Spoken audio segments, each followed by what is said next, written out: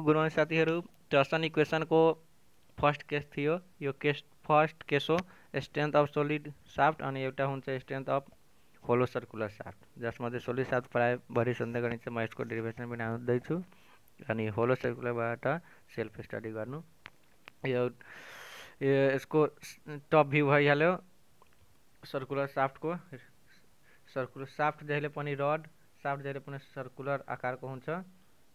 Cylindrical आकारको। अब यो small strip हो, यो सेन्टर भइहाल्यो। सेन्टरदेखि को डिस्टेंस एक्स भइहाल्यो।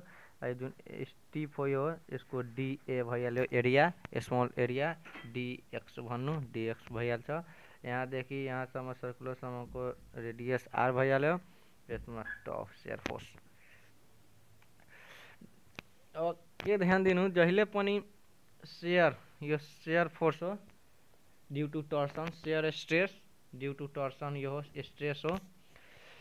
सर्कुलर पोर्सनमा जहिले पनि सेन्टरमा सेयर स्ट्रेस जिरो हुन्छ।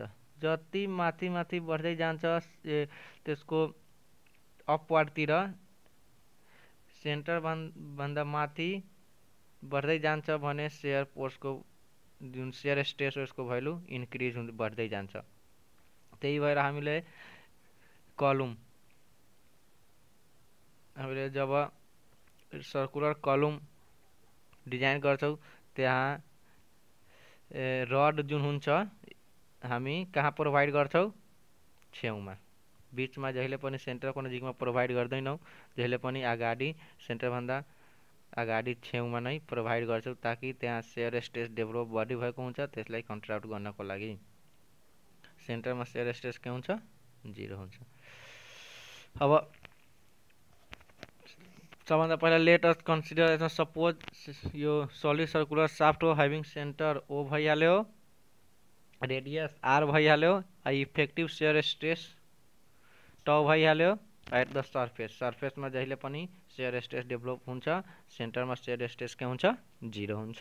यसैले हामी भाषामा लेख लेख्नु let us consider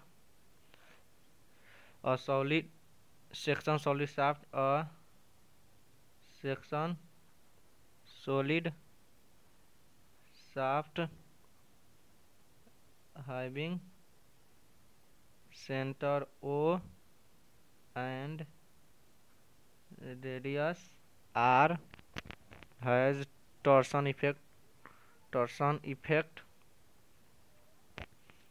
having shear stress tau at surface. सर्फेसमा हामी सेयर स्ट्रेस प्रोभाइड गरिरहेछौँ। टोटलको लागि हो। टोटल सोलिड साफ्टको लागि। अब स्ट्रिपको लागि। स्ट्रिपमा tau x b the small shear stress small stress gives on a small strip, dx. dx small strip हो at distance x, at distance x from center. जहिले पनि कल्कुलेट गर्दाखेरि स्मल स्ट्रिप लिएर calculate गरिन्छ र त्यसलाई इन्टिग्रेसन समेसन गरेपछि त्यसको total आइहाल्छ। अब d a b the area यसको स्मल एरिया के भइहाल्यो? D a d a b the area of strip. Area of strip 2 pi x into dx. यादै गरिहाल्नु यो two pi x into d dx स्ट्रिपको यो एरिया भइहाल्यो stress stress on strip स्ट्रिपमा stress कति develop भएछ two x torsional force torsional force equal to shear stress भनेको force upon area त tau into area is equal to torsional force अब स्टिपको लागि टर्सनल फोर्स कति हुन्छ torsional force on strip dF equal to stress into area stress भइहाल्यो हाम्रो to x tau x area हाम्रो यो हो into two pi x d x but tau x upon x is equal to tau by R yo small strip को भइहाल्यो यो total को भइहाल्यो tau x is equal to भइहाल्यो त tau upon R into x अब d f tau x इसलिए d f is equal to d f हेर्नु त? टो एक्स इन्टु डिए त डिएफ इज़ इक्वल टू हामी कसरी tau into x upon R into two pi x d x d f को value हाम्रो कति भइहाल्यो अब? यो हेर्नु त डिएफ को value tau x two pi x tau x tau x को भ्यालु हाम्रो कति भयो? टो एक्स अपन आर यो भ्यालु म यसमा हालिदिएँ। टो एक्स को भ्यालु यहाँ हाली दिए डिएफ नयाँ डिएफ हाम्रो यो आइहाल्यो टर्सनल फोर्स अब twisting moment twisting moment moment भनेको force into perpendicular distance distance डिएफको value हाम्रो नयाँ आएको tau x upon R into two pi x d x into distance हाम्रो एक्स भइहाल्यो यसलाई टोटललाई कलकुलेट गरेपछि एक एउटा एक्स एउटा एक्स तिनवटा एक्स भइहाल्यो टो यो टु अगाडि गर्नु two pi tau x cube by r into dx. यति हाम्रो भइहाल्यो अब यो त हाम्रो भयो स्ट्रिपको अब टोटल ट्विस्टिङ अब total साफ्टको total twisting twisting the strength of whole साफ्टको लागि। स्ट्रेन्थ अफ होल साफ्टको लागि। होल आउने बित्तिकै integration d t zero to T is equal to zero to R T को भ्यालु टर्सनल जुन डी डिटी थियो त्यसको two pi tau upon R into x cube dx अब यसलाई इन्टिग्रेट गरेपछि हाम्रो आइहाल्छ टोटल अब इन्टिग्रेट गर्ने यसलाई पहिला two pi tau upon R यसलाई बाहिर गर्नु zero to R, x cube d x. अब अप्पर लिमिट लोवर लिमिटबाट क्यालकुलेट गर्नु two pi tau upon R अब x four by four zero to R.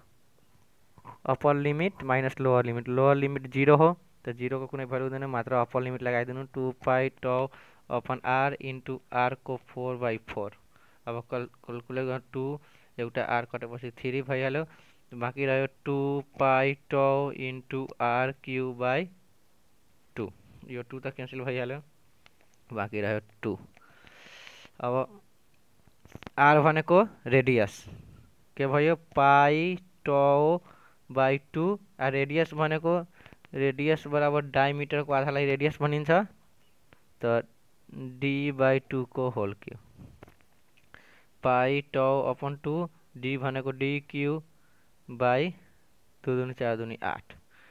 Pi tau by d by आठ दुनी सोह्र।